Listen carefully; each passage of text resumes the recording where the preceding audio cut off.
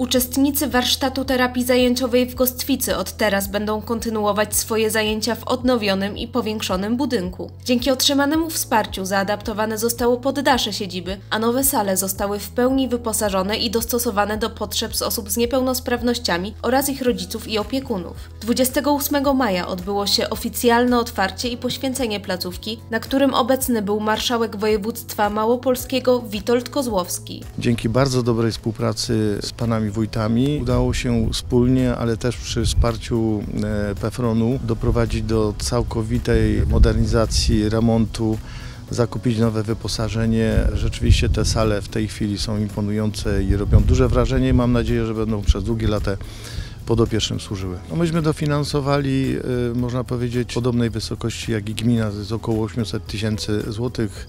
Wsparcie również y, przyszło od strony y, środków pefronowskich, które y, pozostają w dyspozycji zarządu województwa w wysokości około 180 tysięcy. Warsztaty terapii zajęciowej są główną działalnością Stowarzyszenia Rodziców, Przyjaciół Dzieci i Osób Niepełnosprawnych Promyk. Stowarzyszenie to działa już od 18 lat, a z biegiem czasu kondycja użyczonego na działalność warsztatu stuletniego budynku znacznie się pogorszyła, co zagrażało bezpieczeństwu jego uczestników. Od teraz miejsce to może znów zapewniać osobom niepełnosprawnym najlepsze warunki do rozwoju i realizacji swoich pasji. Mamy 30 y, uczestników y, z kilku okolicznych gmin, y, którzy pracują w pięciu pracowniach terapeutycznych, pracownia gospodarstwa domowego, plastyczno-techniczna, aktywności twórczej, rękodzieła artystycznego i krawiectwa i haftu. I w tych pracowniach realizują rehabilitację zawodową. Jest też oczywiście pracownia rehabilitacji ruchowej, mamy również psychologa, który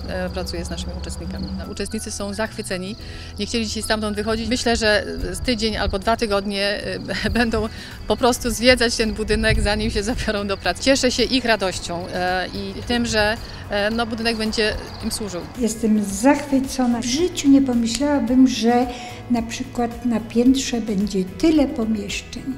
Cieszę się bardzo, wszystko się zmieniło, została tylko tym samym miejscu kuchnia, w którym była świetlica, z tym, że e, wyposażenie inne. Początkowo to było 20 osób. Zebrała się grupa inicjatywna, założyliśmy stowarzyszenie i mieliśmy na samym początku już w tej grupie inicjatywnej przyjaciół. Im jestem bardzo wdzięczna. Do tej pory niektórzy pracują w zarządzie stowarzyszenia. Całkowity koszt odnowy budynku wyniósł blisko 2 miliony złotych, z czego ponad 800 tysięcy pochodzi z Regionalnego Programu Operacyjnego Województwa Małopolskiego. Stowarzyszenie z powodzeniem korzysta także z licznych unijnych programów, dzięki którym uczestnicy skorzystać mogą z dodatkowych zajęć z psychologiem, doradcą zawodowym, kursów szkoleniowych, usług zdrowotnych, a także udać się na wyjazdy integracyjne. Dla telewizji małopolskiej Marzena Gargas.